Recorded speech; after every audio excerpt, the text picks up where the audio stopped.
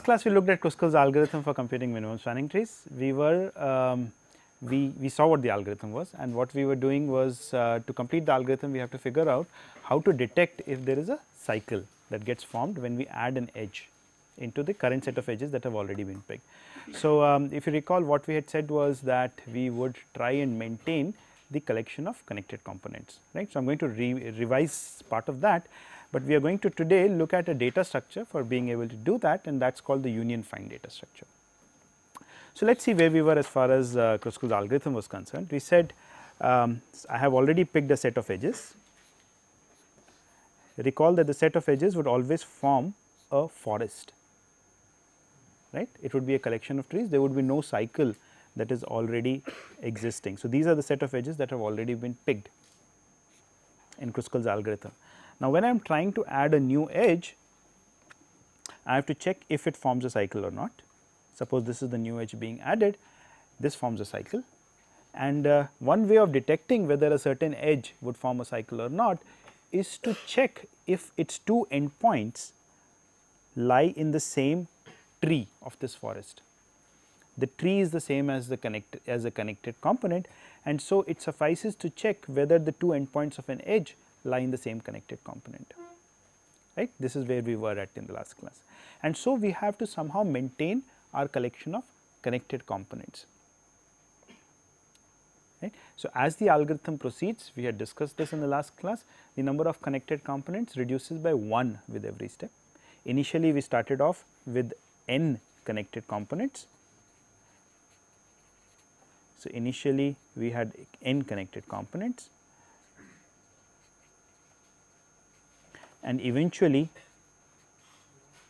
finally we have only how many connected components will we have? 1.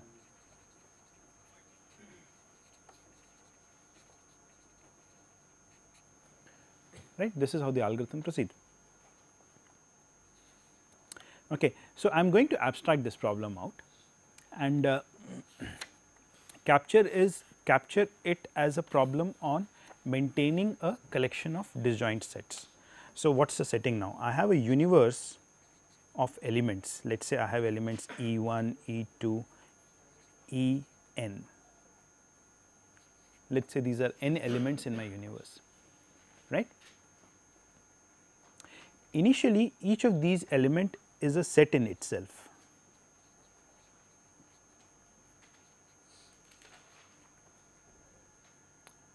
right.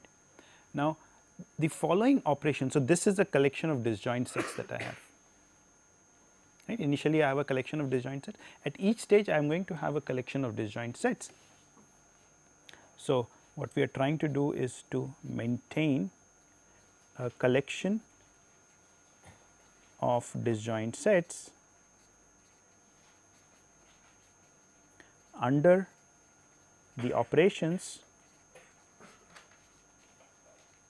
of let us see what are the operations we are doing going to be doing on these disjoint sets right. So, so what does the what do these elements correspond to in the case of Kruskal's algorithm? Right, but what are they initially? Initially these E1, E2, E, what are E1, E2, E3? These would be the vertices, the initial vertices, right. Now, what are the operations that we have to do on this collection of disjoint sets, right. One operation is union, right. The operation of union has to be done when I have one connected component right. I have another connected component and the edge that I add runs between these two connected components. Then the resulting thing would be this, this entire thing would be one connected component yeah and uh, it should get reflected here by taking the union of the corresponding sets. So, I have to do an operation of union that is one operation under which I have to maintain this collection of disjoint sets. So, what do I mean by that? Suppose this collection has E1, E3 and E7 in it and this uh, sorry this set has E1, E3 and E7 in it, this has E2, E5 and E9. Then after the union I should not have these two sets in my collection, but or what these two sets in the collection should get replaced by one set which is E1, E2, E3, E5, E7 and E9. The other operation that I have to do is right. So, given an edge I have to look at the two endpoints of the edge and determine if they belong to the same connected component or not right. So, the endpoints of the edge would be the two elements and I have to check given two elements whether they lie in the same set or not right. So, we will call that an operation of find. So, what does find do? Let us say find takes as parameters two elements x and y and returns true if x comma y are in the same set. What should it return? Well, this is not this is not a complete uh, description of find. Uh, if x and y are not in the same set, what should find return? Pardon? It should return the two sets in which those two elements lie. Why? Why should it return the two sets? Because then we need to do the union on those two sets exactly.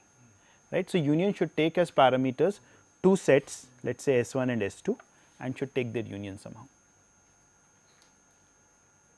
Right. This is what we require of our data structure.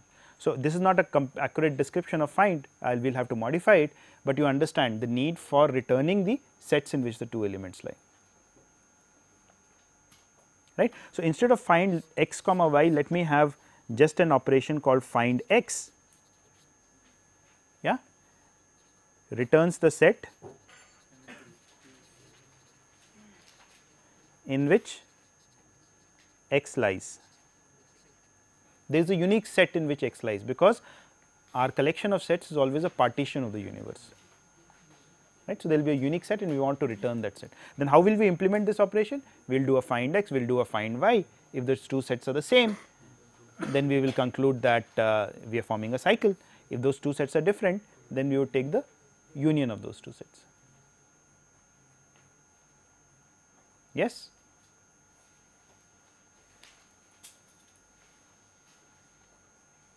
Right? Everyone following what? So, if I were to write down Kruskal's algorithm now, it would look like this. So, with this assuming that these two operations exist, it would look something like this. I um, so what was what were the steps of Kruskal's algorithm? First, I sort the edges, sort the edges in increasing order of lengths. And let us say this ordering is E 1, E 2, Please do not confuse between this E and the element E that I had on the previous slide. These E correspond to edges and the previous one was elements, right. So, we will keep these separate. Okay, now what should I do? For i equals 1 to m do. I pick an edge, right. What is the edge? E i, I am considering the edge E i. So, let E i equals u comma v which means that u and v are the two endpoints of the edge E i. What is it that I have to do? If find u equals find v then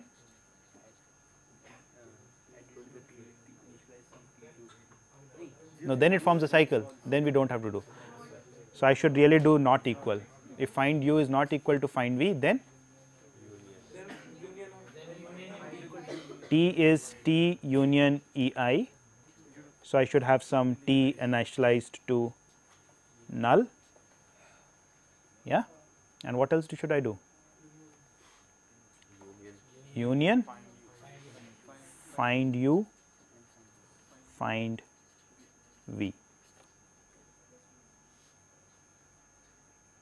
Yes?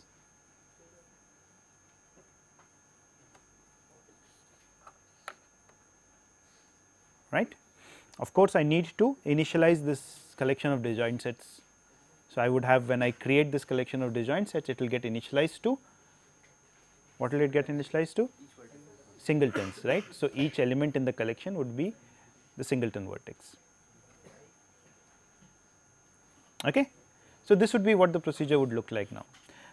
We need to understand what kind of a data structure to keep for the find and uh, we, what kind of a data structure to keep for maintaining this collection of disjoint sets, so that these operations can be done very quickly.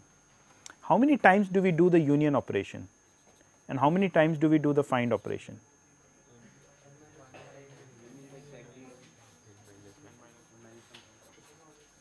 Yeah, number of unions right because every time I do a union I include an edge into my tree. How many edges can there be in my tree?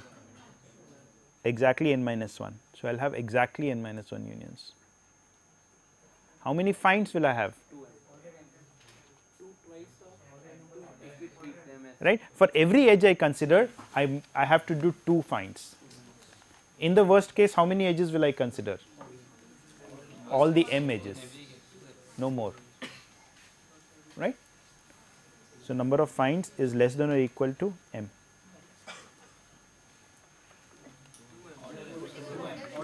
Okay, let us make it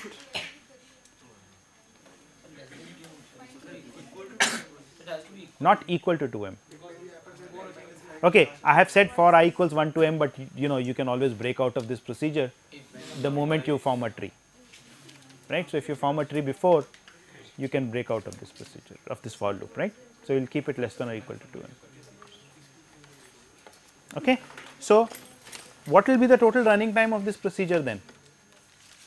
If this operation let us say takes u time and this time takes f time, then what is the total running time? Anyone? This step will take m log m time plus u times n plus m times f. Yes. So, now we have to find out a good data structure by good we would mean which would do the u and which will have a small u and small f.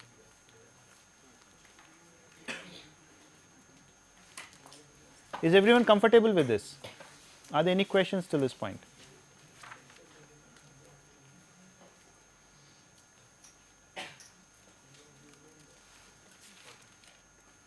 right. Can someone suggest a data structure to me?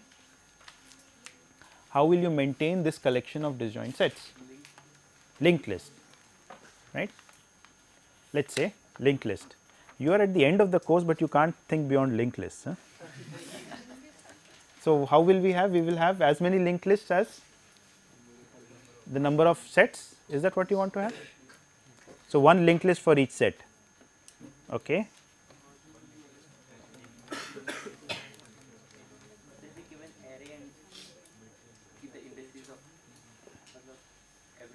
No, let us complete this first. How much time does union take and how much time does find take? Union can be done in constant time. Right? अगर आपकी ये linked list बड़ी भी हो गई है right so let's say we keep track of the front and the end of each linked list if we do that then i can combine two linked lists in constant time yes so union will not take too much time but how much time does find take? Order size of the linked list, which in the worst case could be n. Yeah. Now, is that good? If we were to do this, we will take m n time, which is too large. We are looking for a time complexity of something like m log m. right. So, if you are looking for something like m log m, this quantity should be no more than log m and this quantity should also be no more than log m.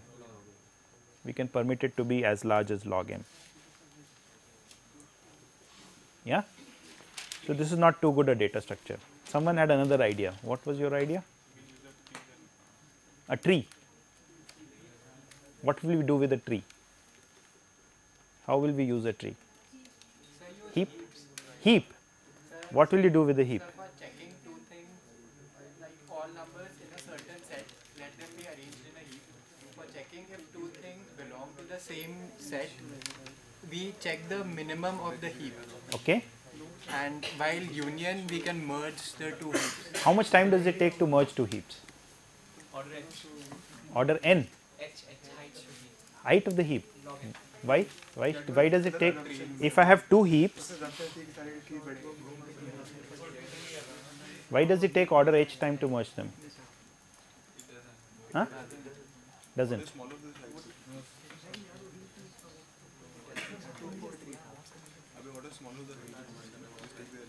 Order smaller? No. Number of elements in the small array, but that could be as large as n by 2, right? Okay. What else? Okay, so we'll have a new data structure for doing this. Yeah. and uh, what will a new data structure be? Let's set, I'll just show this thing to you and then you'll understand what's happening. So, suppose my universe was A, B, C, D, E, F, 6 elements, simple, right. So, initially recall that my, what are the sets in my collection? The singletons A, B, C, D, E, F. So, I have A, I have B. So, I have one node for each of these 6 sets. Now, suppose you say union uh, the set containing A, right. So, you will say something like union find A comma find B, the set containing A and the set containing B. So, what I am going to do is to make one of them. So, each of these nodes has only one pointer with it or a reference, right. So, it has a data field and one reference field. So, I will make one of these guys point to the other. Okay. So, at the next step I will have when after I do this, this is what my collection looks like. These of course remain like as they are. Okay. Now, suppose you were to say the same thing union find A comma find C. So, when I say find A, when I say find A, I will start from A and keep going up till I hit the root. So, this is now the root. How do I know it is the root? Because its pointer points to itself let us say or its null or whatever. make A point to B when we do union of find A and find B. Yes, when we do the union, so you will understand this you know as, as we proceed. So, this is what the trees look like. So, each one of them is a tree. Right now, this tree has only one node in it, but this tree has two nodes in it. And now the pointers are going up. We just have parent pointers, so to say. When I say find A, I will start from A and keep going up the tree till I reach a node. Let us say, iska parent pointer is either null or it is pointing back to itself. Right at that point, I know it is the root. And so, this says that find A, the element A is in the set whose root or in which B is. So, I come to B. So, this is the element, this is the uh, set in which. So, what we are doing is that for each set, how do we how do we represent a set? So, each set is represented by one of the elements in the set. Yes, which is in this re re- uh, representation it will be the root of the set. So, in some sense all the elements of a set elect a leader yeah and this is the leader of that set. So, A and B are the only two elements in the set the leader is B. So, when I say find A it returns to me a reference to this node which says that this is the root of the set to which in which element A lies. When I say find B what will it return the same thing and then I can compare those two and determine that they are in the same set or not. Okay. So, what find A find B returns are the roots of the corresponding trees. Okay. You will understand this as we proceed. What union does is it takes the root of these two trees and links them up, makes one point to the other. Right. So, for instance, here I might decide to make B point to C. in which case my new representation would look like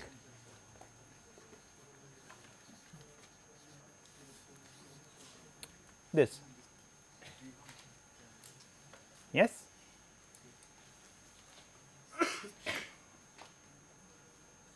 Okay. Now, if I were to do a find A, what will be returned by when I do a find A? A reference to C, a reference to this node. And when I do a find B, what is returned? A reference to the same node. So, I can compare these two. So, I can return a C or I can return a reference. Actually, it is best to return a reference because then that can be used by the union operation. So what if C wasn't alone? What do you mean C wasn't alone? Okay, if C wasn't alone, I understand what you mean if C wasn't alone. We'll come to when C is not alone. Yeah? So, so all we are doing is taking the roots and merging them. So, suppose at this point I did another operation which was union find D find E. Yeah, so what will I do? I link up the roots for D and D. So, let us say I decide to make D point to E. Yeah. Now, as you can see D and E are not alone. So, if I decide to do an operation like right. So, let let me keep this picture there and if I were to do let us say union or let me write it down here union find A comma find D then what does find A return? It returns a pointer to C, D returns a pointer to E. I need to link up these two roots. So, I can make C point to E or I can make E point to C whichever I please. Let us say I decide to make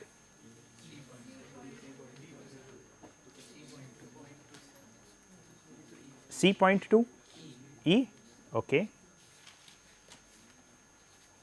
This is what I would get then. And of course, F would be sitting on its own. Yeah? Everyone understands what the procedure is.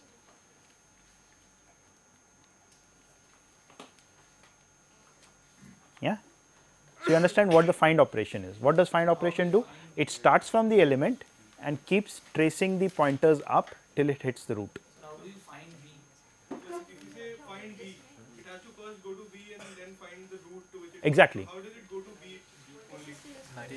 So, you have a list of vertices, right. So, when I have an edge, I have its two endpoints, I have the vertices and from that vertex list, I might have references to this node. Right. Recall you have a data structure for your graph, right, in which you have an array. So, suppose I had an adjacency list representation. So, this array would contain my list of vertices, right. I could have another reference from here to this node here for every. So, if this was node vertex B, so I could have another reference from here to here, so that I can access this straight away. Right? This is just referring to this particular node, and so this will always remain the same. There is no problem with that.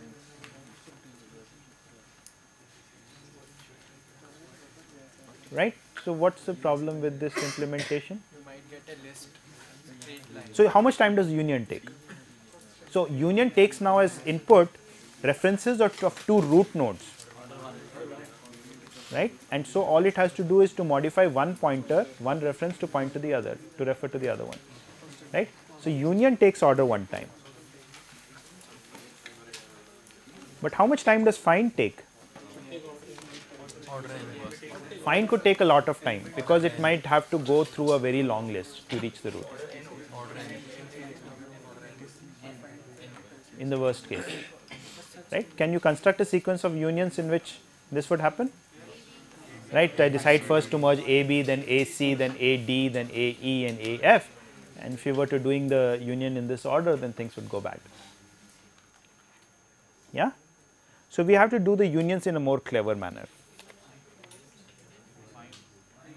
huh find no we'll do the union in a clever manner Point to the larger of the trees instead of C to E, make it from E to C. Right. So recall that when we were linking elements, we had an option. either link make one point to the other or point the make the other point to the first one. Yeah. So, now we will exploit that. Okay. So, I am going to use a rule called union by rank in which if I have two trees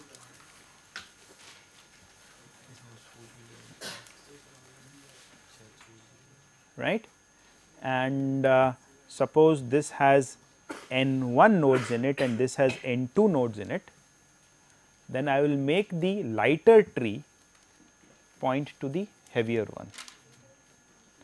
So, this so without loss of generality let us say n 1 is less than n 2.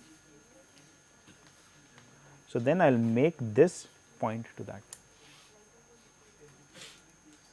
we will make the lighter point to the heavier. Right. Now, you will not have this kind of a scenario in which uh, you know if you had these let us say 6 elements first you made this point to this right and then when you are trying to combine this and this you you will not make this point to this anymore. What will happen now? You will make this guy point to this and now this tree has 3 nodes in it. So, if this combines with this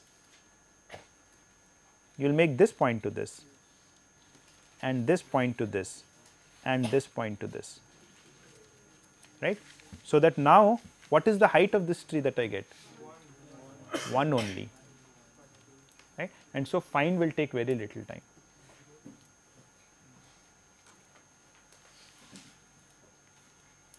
Okay. So, we have to see that if we use this rule what can be the height of the tree in the worst case, how high can the tree become.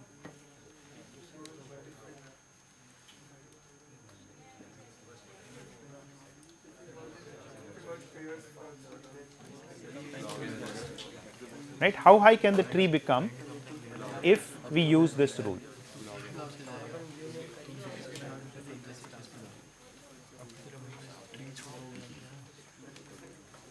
anyone log n why Because we need to get the find procedure to First will be the pairs of n by 2, n by 2 each. That is the worst case. you are trying to construct a worst case, but, but that need not be the way we do things, right? Or that need not be the worst case. How will you argue that this rule of union by rank will lead to trees which have height? So, what's the claim we want to make? Uh, no, not the height is minimum.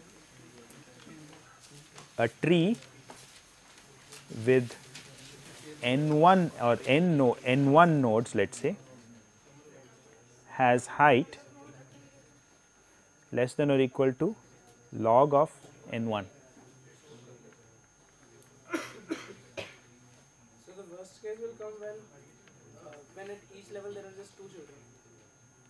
suppose i have to make prove this claim a tree with n1 nodes so at any point if i have a tree with n1 nodes in it it has height at most log of n1 ठीक है prove कर सकते हैं आप इसे by induction height will, in- uh, if you are combining two trees of uh, uh, nodes n1 and n2, the height, the net height will be maximum of n1 comma n2. Or if n1 is equal to n2, then it will be n1 plus 1. Good. So, let us use induction. I am not going to write down the proof formally, but I will tell you what the procedure is. So, I am combining two trees, one n1 nodes, the other n2 nodes. Loss of gen without loss of generality, let us say n1 is less than or equal to n2. Yeah. Let us assume that the induction hypothesis is true till this stage of my procedure.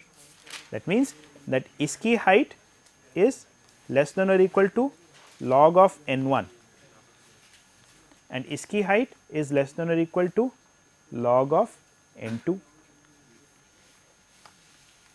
ठीक है everyone with me now we have to show that as a consequence of this i'll get a new tree with how many nodes in it n1 plus n2 would be the number of nodes in the new tree so i have to argue that its height is no more than log of n1 plus n2 let's see whether that is true Yeah. So, what are the two cases? n 1 strictly less than n 2.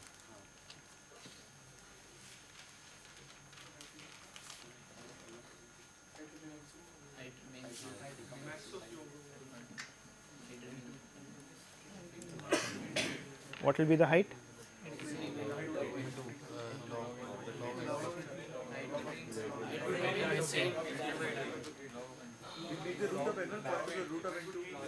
No, what will be the height? The height could be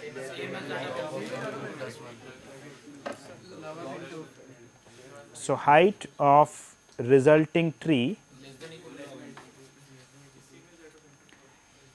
is either the height of this tree. So, we have done this. It is either the height of this tree or it is the height of this tree plus a 1. Yeah. So height of resulting tree अगर इसकी height H one है और इसकी height H two है so height of resulting tree is less than और equal to max of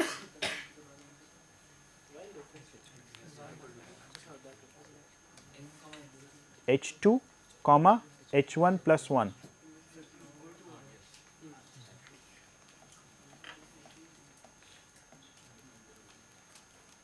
It can take a value of h1 plus 1 also. Sir H2 और H1 use करें तो equal होगा ना h2 और h1 इक्वल होंगे ना n1 और n2 तो इक्वल नहीं होंगे sir now it should be equal to अगर log log n2 यूज़ करना है तब less equal Oh, the height of resulting tree, okay, fine, equals max of H2, fine. ठीक है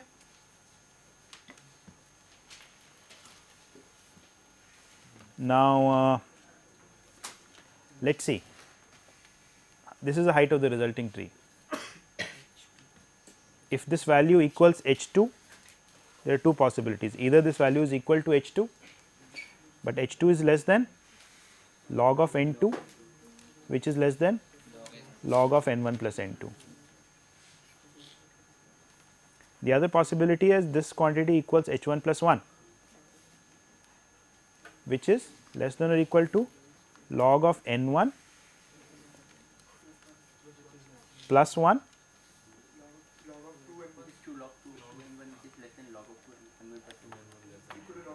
which is equal to log of 2 times n 1 which is less than or equal to log of n 1 plus n 2 1 because yeah because n 2 is greater than or equal to n 1. So, actually we have not used the fact that n 1 is strictly less than n 2. Have we used the fact?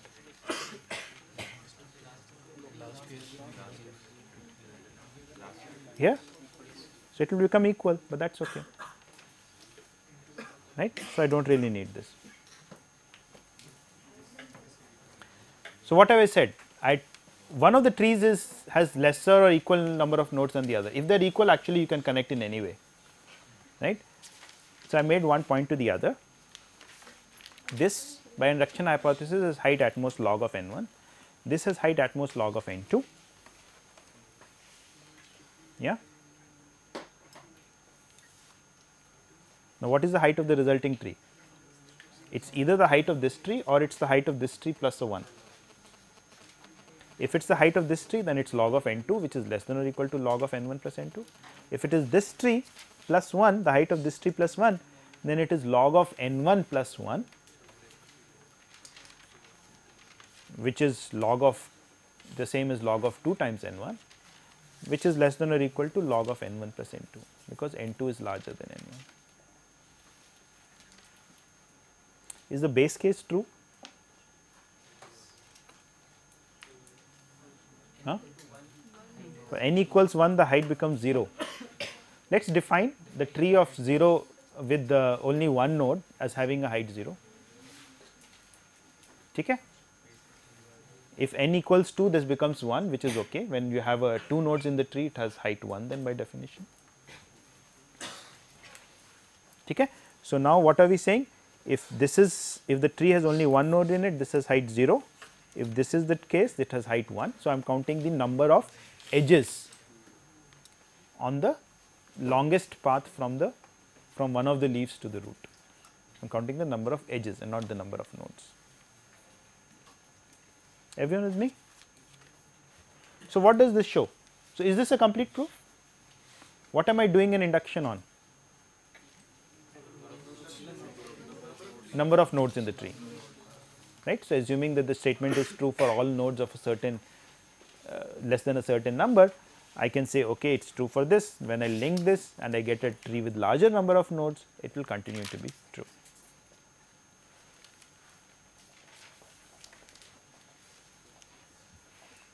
Okay. Great.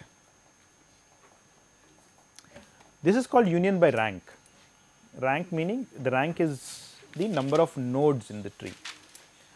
You can also do a union by height. As in you can keep the make the shallow tree point to the tree with larger height. That would also work. Let us see why. Right? What am I doing now? This is a tree of height h1 this is a tree of height h2 h1 less than or equal to h2, I do this. I make the root of h1 point to the root of h2.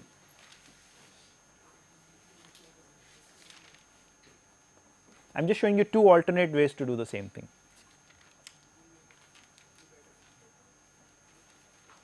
Okay.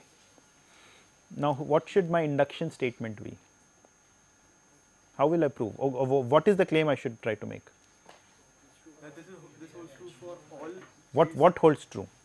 So, a tree of height h, what should I try and prove? A tree of height h has at least 2 to the h nodes, good. Yeah, just the converse of that claim. There we are talking of a tree with so many nodes has height at least log of h. Here if the height is h, then it has at least 2 to the h. At most, it has height at most log of n 1 here we would like that a tree of height h has a large number of nodes in it, at least 2 to the h. Right. So, that means that you can never have a tree of height more than log of n, because if the height of the tree was more than log of n, then it will have more than n nodes in it, which is not possible because there are only n nodes in the graph to begin with, in your collection to begin with. So, that will place a log n bound on the height of any tree. How will we prove this? So, once again by induction, suppose claim is true for all trees of height up to a certain number and then when I do this linking, the resulting tree has height h 2 max of h 2 comma h 1 plus 1 once again.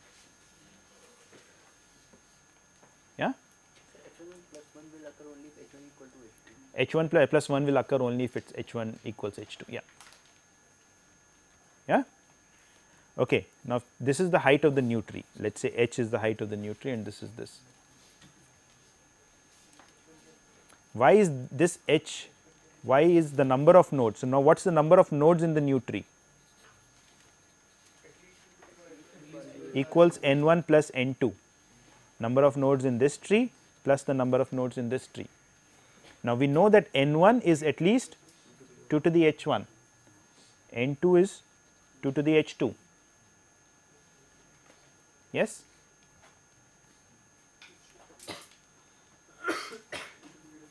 So, this quantity is greater than or equal to 2 to the h 2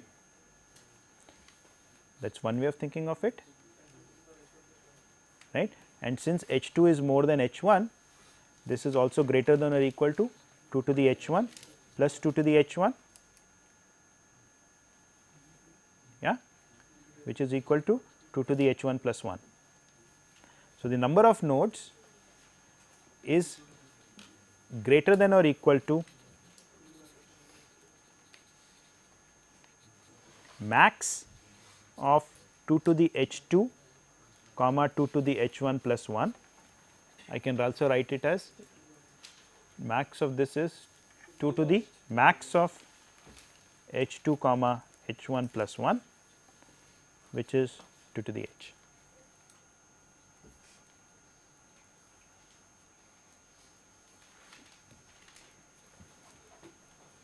ठीक है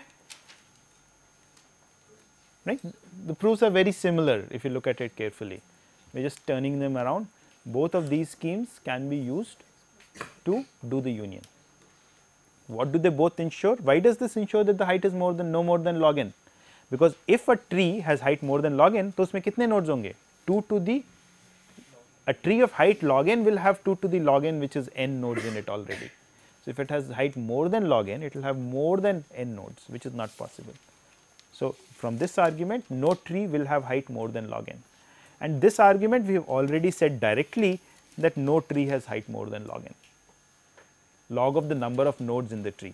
Since the maximum number of nodes in any tree is at most n, no tree has height more than log n. Yeah. So, now given this how much time does union take? constant time? Yes. So, something has to be done more and what is it that has to be done? In the root node we have to keep track of either the height or the number of nodes whichever it is. And this is an information which is not difficult to maintain. Right? Because when I do a union this value is updated to yeah, either the height if you are maintaining the height it becomes the max or if you are maintaining the number of nodes you just add this quantity to that right. So, how much time does union take now? Constant time because we just have to update this variable right and do this reference update. How much time does find take now? right. I start from a node and I keep moving up the tree. Since the height of the tree is never more than log n, find takes no more than log n time.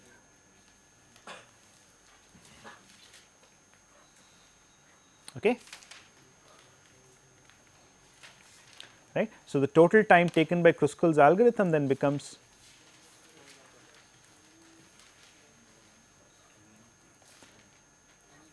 time for sorting m log n plus how many unions did we say we need? At most n unions. Every time I include an edge, I need one union. Since each one of them is taking constant time, this is just order n time. How many finds do I need? For every edge, I might need two finds. So, m times log n.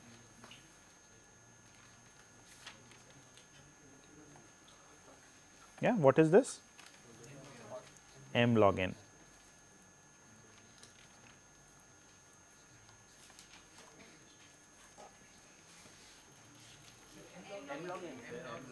m log M या M log N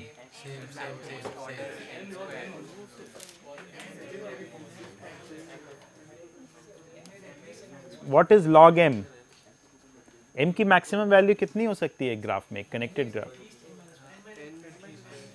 M की maximum value कितनी हो सकती है? M की maximum value कितनी हो सकती है? N square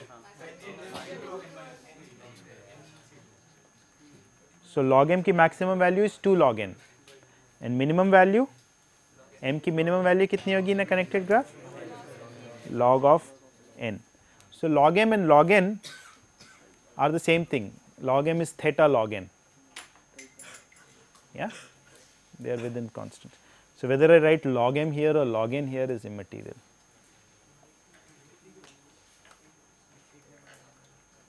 Yeah, they are they are the same quantities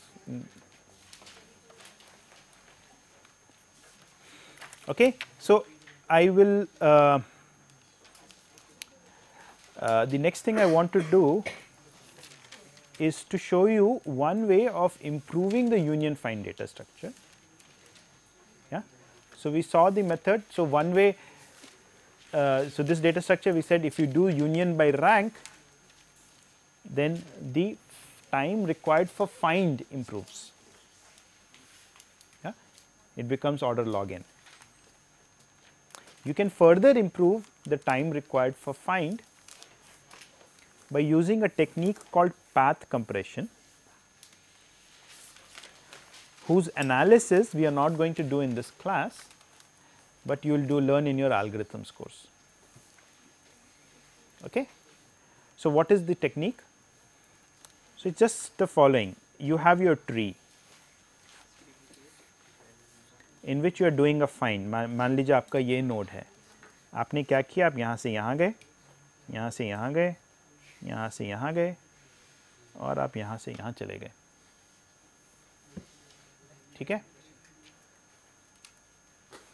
So you went up the tree like this to do this find now the question is why don't we do something at this point so as to improve the performance of future finds. You might have to find this node again. Yes? Yes. So we will modify these links. We will make this parent pointer point straight to the root. And not just this guy everyone on this path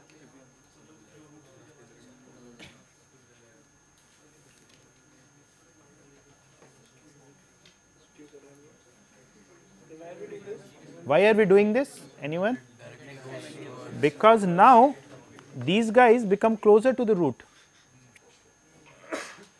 what is I am not drawing the rest of the tree, but now you can see that this node is this,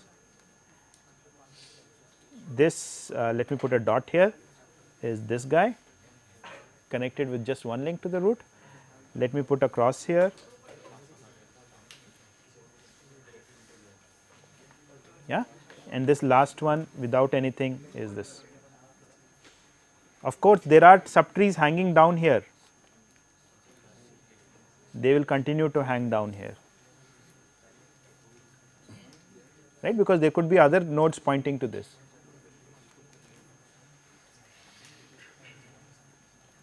So, they will continue to, but when I later, so what are we doing as a consequence of this? We are bringing the nodes closer to the root, thereby reducing the height of the tree and that reduces the number of the time required to do your find.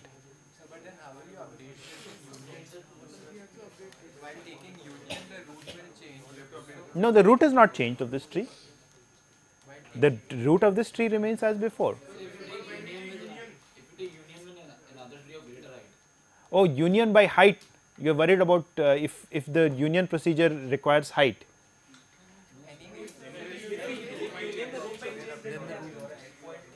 हाँ? नहीं, मेरे question ही समझ में नहीं आया। Answer में बाद में। Root right of this the root of this tree will point to the root of the other tree no these will not change then these will not change we are not going to change these now right? If i take the union of this with someone else that's okay. I did that. I'm not going to change these pointers. I'm not going to change these pointers. Right? So if you were adopting this procedure then union for the union operations you should not work with height but with number of nodes. You understand why? Because we are changing the height of the tree by doing this right and we might be changing it in a manner which might be hard to recompute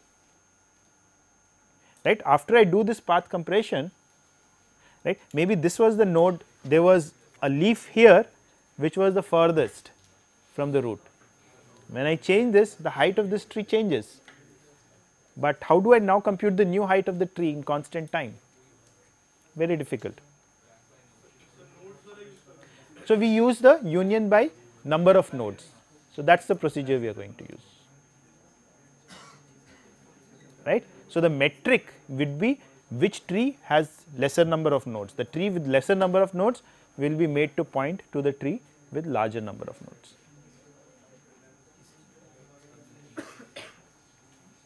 or the root of the tree with lesser number of nodes will be made to point to the tree to the root of the tree with larger number of nodes. Okay, everyone follows this? Questions?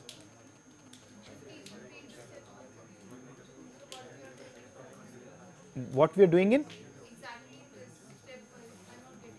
What are we doing in path compression? What we are doing in path compression is that we say, okay, when I am searching for this node, when I am doing a find operation on this node, I am in any case going to travel all the way up, right? I am going to traverse this link and I am going to traverse this link and this link and this link. Why do not I do something now which will make future easier for me, right? Future finds easier, lesser time. So, what I do is that once I do this, yeah, I will maybe make another pass of this and now change the pointers to directly point to there. We do not know the root, no? We do not know where to make the.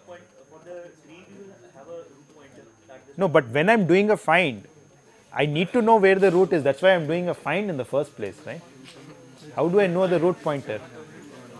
Only when I reach the root would I know what the what the root reference is, and so I need to make a second pass to update. Right? So every time you are doing a find, you will be updating the pointers. Every time we do a find, we'll update the pointers. Yes.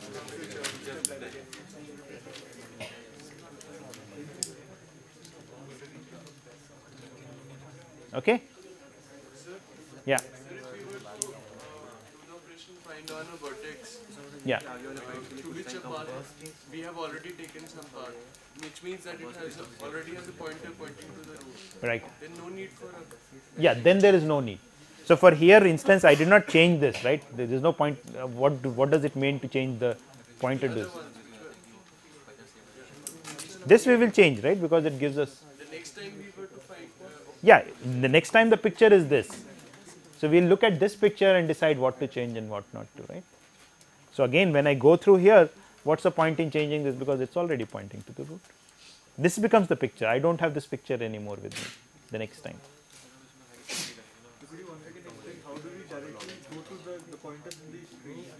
How do we directly go to the nodes in these trees? We keep a reference, right?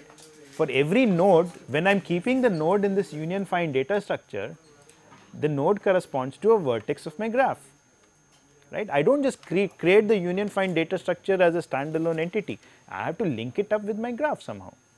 For every vertex, I have one node here. I keep a kind of a cross reference from the vertex in my uh, linked list data structure or the adjacency list data structure for the in which I have the vertices, I would have a reference to the corresponding node in this union find data structure, right. So, that when I have to reach a particular vertex, I can follow that reference and find out which connected component that vertex belongs to. Okay?